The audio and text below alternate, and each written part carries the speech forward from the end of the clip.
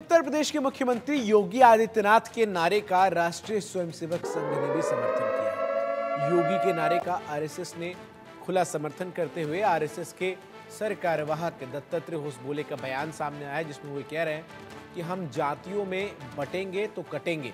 इसके साथ ही साथ दत्तात्रेय होसबोले की तरफ़ से कहा गया कि हिंदुओं को एकजुट रहना चाहिए। राष्ट्रीय स्वयंसेवक संघ यानी आरएसएस ने सीएम योगी के बटेंगे तो कटेंगे बयान का समर्थन किया है। मथुरा में सर कार्यवाहक दत्तात्रेय होसबोले ने कहा कि हिंदू समाज एकता में नहीं रहेगा तो आजकल की भाषा में बटेंगे तो कटेंगे हो सकता है।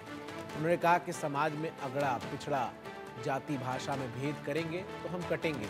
इसलिए एकता ज़रूरी है। हिंदू समाज की एकता लोक कल्याण के लिए है। वो सबको सुख प्रदान करेगी। हिंदुओं को तोड़ने के लिए शक्तियाँ काम कर रही है और साथ ही साथ उन्होंने लोगों को ये कहा है कि उन्हें सावधान रहने की, सतर्क रहने की ज़रूरत है।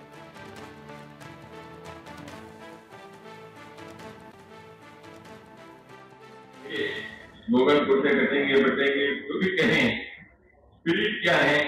हिंदू समाज एकता से एकात्मता से नहीं रहेगा तो इतिहास कहता है आप हम तो कहते हैं, जब जब हिंदू भावों को भूले आए विपद महान, भाई टूटे धरती कोई, मिटे धर्म संस्थान ये हमारे गीत है।